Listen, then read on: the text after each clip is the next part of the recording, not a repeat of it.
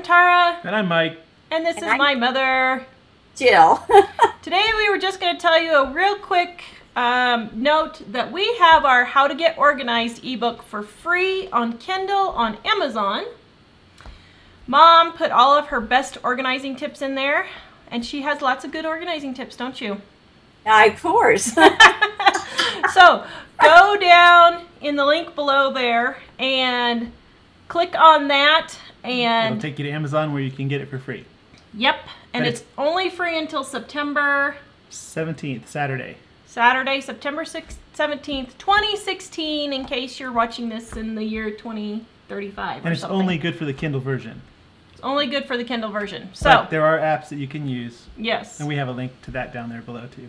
yes so grab grab our how to get organized book it's free until saturday september 17th Enjoy!